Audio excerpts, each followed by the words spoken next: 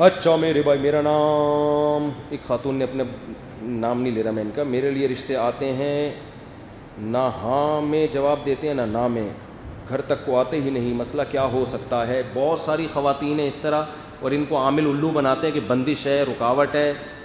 एक खातून ने मुझे बताया कि मेरे रिश्ते इतने आते हैं, लेकिन जब भी आते हैं तो जवाब ही नहीं देते। तो मैं वहाँ के पी के में एक बुज़ुर्ग के पास गई। उस बुज़ुर्ग ने बताया कि कुछ रुकावटें डाली हुई हैं किसी ने।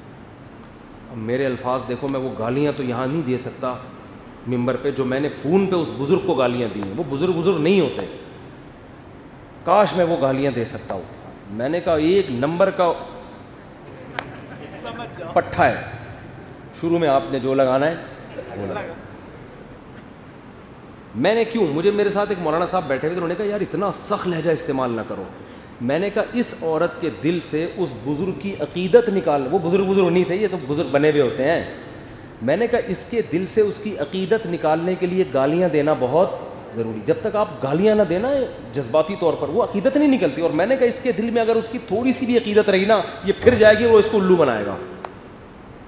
वो इसको उल्लू बनाएगा। तो इसलिए मैं आमिलों को तबीयत से अलहमदिल्ला धोता हूँ, ताकि आपके दिल से आमिलों की अकीदत निकले। इससे बड़ा असर पड़ता है। तभी तो हम नबी की तोहन बर्दाश्त नहीं करते। हमें पता है इससे पैगंबर की अकीदत निकलने का ख़तरा होता है। वो मकाम लोगों के दिलों में नहीं रहता, इसलिए हम नहीं बर्दाश्त कर सकते भाई पैगंबर की तोहन। आपने अगर पैगंबर पर एतराज़ करना है, अदब एहतराम के साथ आप इश्कालात करें गैर मुस्लिम कोई हक़ है इस्लाम पर भी एतराज़ करे, मोहम्मद सल्लल्लाहु अलैहि वसल्लम पर भी एतराज़ करे, उसको हक़ है, क्योंकि वो थोड़ी मानता है। लेकिन तमीज़ के दायरे तमीज़ के दायरे इज़्ज़त एहतराम के साथ। तो तो मैं इन आमिलों को इसी तरह से वो करता हूँ ताकि इनकी अकीदत, क्योंकि दलाइल से लोगों की समझ में बात नहीं आती। तो मैंने उस खातून से कहा, ये बुज़ुर्ग नहीं है, ये पट्ठा है, ये है है। ऐसे मैंने तबीयत से उसको धोया है। मैंने कहा, तू कह रही आप क्या कह रहे हो? तो मैंने कहा, मैं सही कह रहा हूँ, बिल्कुल। और मैंने कहा, मैंने इतनी गालियाँ दी हैं कि अगर वो वाकई आमिल है, रूहानी और ये सब जिन्नात तो वो मुझे नुकसान पहुँचाएगा। मैंने कहा, उसको पता है कि वो मुझे नुकसान इन नहीं पहुँचा सकता। इतनी गालियाँ सुन के भी नहीं पहुंचाएगा मैंने कहा उसको जाके मुँह पे बोलना, मुफ्ती तारिक मसूद साहब तुम्हारे बारे में ये तबसरा कर रहे थे, फिर भी कोई जिन चुड़ैल नहीं भेजेगा वो है ही नहीं तो कहाँ से भेजेगा? साले उल्लू बना रहे होते लोगों बैठ। तो मैंने उस खातून से कहा, ये बंदिश वंदिश नहीं है। आजकल लड़कियों के मसाइल हैं और उसका हल वही है जो मैं हर बयान में थोड़ा थोड़ा छेड़ता हूँ। आज नहीं छिड़ा था तो आज छिड़ गया। वही है कि भाई मर्द दो दो तीन तीन कर नहीं रहे हैं तो ये ख़वान के मसाइल, आमिलों के बस की बात नहीं है। इसमें आपको आमिल, अमल वाला आमिल बनना पड़ेगा। अमल करो दो दो तीन तीन औरतों को ठिकाना दो तो ख़वान के मसाइल हल होंगे। इसके अलावा फितरत ने इसका, उसका कोई ऑल्टरनेट कोई हल ही नहीं रखा है।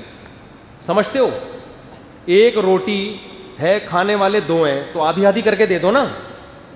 आपको एक बंदे को एक रोटी मिलेगी, दूसरे, दूसरा कह रहा है, भूखा हूँ मैं मैं मैं क्या करूँ?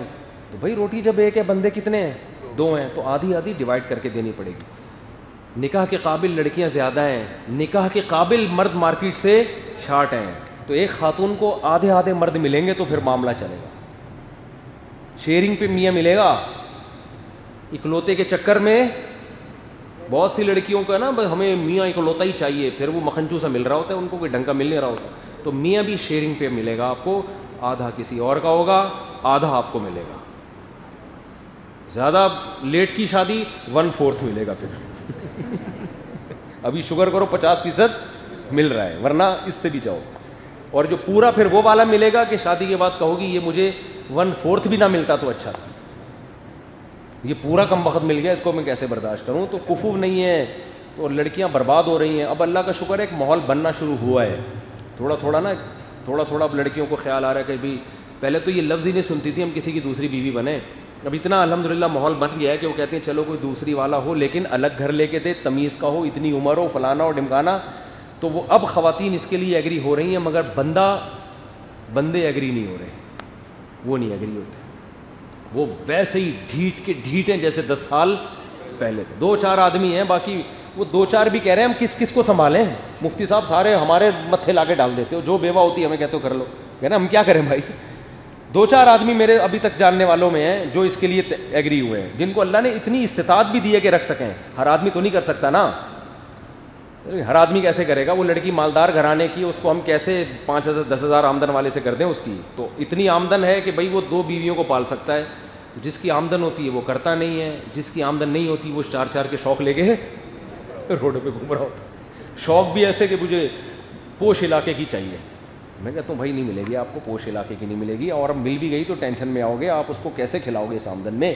तो उसको उस, वही स्टैंडर्ड देना पड़ता है लाइफ स्टैंडर्ड तो मर्द हैं, मेरे जानने वालों में पाँच छः आदमी हैं जो इसके लिए तैयार हैं, उन्होंने दो दो तीन तीन कर भी लिए हैं, लेकिन वो मुझ पर नाराज़ होते हैं, यार, अब जो कोई बेवा हुआ, तलाक हुई, आप ला के हमारे मत्थे डाल देते हो, बस अब हम, हमारी बर्दाश्त से मामला क्या हो गया? है बाहर पंजाब में एक मालिम है, बड़े नेक परहेजगार बुज़ुर्ग हैं। मैं नाम नहीं लूँगा, शायद वो फील ना करें। बहुत वाकई अल्लाह वाले बुज़ुर्ग हैं। उनकी चार बीवी हैं। टाइम किसी को भी नहीं देते वो। मैं, मेरा कहीं वहाँ जाना हुआ तो मैंने कहा कि यार इनकी चार बीवियाँ टाइम एक को भी नहीं दे रहे। तो उनके जो बेटे थे, उन्होंने बताया कि यार, अब्बा की शराफत की वजह से ना कोई भी खातून बेवा हो, लोग ला के इनके खाते में डाल देते थे। अब्बा कहते थे, भाई, मेरे पास टाइम नहीं है। कोई बात नहीं, आपका नाम लग जाए, शोहर का नाम हो, शरीफ आदमी का नाम हो, ये भी काफ़ी है। तो अब्बा कहते, ठीक है भाई शनाख्ती कागजात बन जाएँगे, मैं मियाँ हूँ चलो, फिर वो इतने सीधे कर भी लेते हैं। फिर कह रहे हैं एक इस तरह हुई, फिर कोई बेवा हुई कोई भी नहीं मिल रहा इस बेवा से दूसरी दूसरी करते हैं ना लोग, पहली तो करते नहीं। पूरा लाहौर छान मार लिया, कोई शादी के लिए तैयार नहीं है। हज़रत मुफ्ती फ़लाँ साहब दामद बरका तुमसे रबता। मुफ्ती साहब ने कहा, भाई, मेरे पास टाइम नहीं है हज़रत कोई बात नहीं, बेवा है, शोहर लेस ज़िंदगी से बेहतर नहीं है कि एक अदद शोहर मिल जाए, नाम हो जाए। ठीक है कभी कभार आ जाए, कभी अल्लाह तोफ़ी दे महीने में एक दफ़ा, दो महीने में एक दफ़ा, साल में एक दफ़ा। चलो ठीक है भाई, निकाह पढ़ा दिया, तीन हो गई इस तरीके से। ना फिर जनाब, एक और खातून बेवा होंगी। पूरा लाहौर तराश कर लिया, कोई ढंग का बंदा? नहीं मिली तो कह रहे हैं, वो मुझे खुद बता रहे थे, हमारे अब्बा के, जो बेवा हो रही है ना हमारे अब्बा के खाते में ला के चार पूरी करा दी। कहते, इस्लाम में चार से ज़्यादा की इजाज़त होती तो लाहौर की सारी बेवाएँ इनके खाते में होती। मैंने कहा, सही है, वो टाइम फिर भी नहीं दे रहे वो। कह रहे, भाई टाइम नहीं है हमारे पास।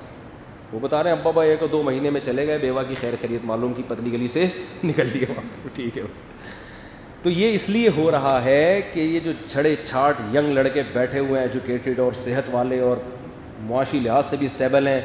ये बहुत ढीठ हैं। ये अपनी जगह से हिलने के लिए तैयार नहीं है। उसकी वजह से ये हालात हो रहे हैं। टाइम बहुत ज़्यादा हो गया मेरा ख्याल है। आपके पुराने बयान बहुत ज़्यादा पुरअसर होते थे। अब जब से आप ज़्यादा मशहूर हुए तब से लोगों के लिए गुंजाइशें निकालते हैं और माहौल के हिसाब से मसाइल तब्दील करके बताते हैं। देखो, जब कोई भी कोई भी किसी पे एतराज़ हो ना तो दो तीन मिसालें वो ज़रूर देनी चाहिए। मुबहम एतराज़ ना करें। तो आप उसमें लिख के दें मसलन पुराने बयान में आप ये कहते थे नए बयान में आप ये कह रहे हैं। तो तीन चार मिसालें आप दे दें तो फिर मज़ा आएगा कि मुझे लगेगा वाकई में तब्दील हो गया हूँ तो फिर नहीं वो जुने जमशेद की नात में जो बिगड़ी बना दे वो गलत है वो शिरकी अल्फाज है। अल्लाह के नबी से ये कहना मेरी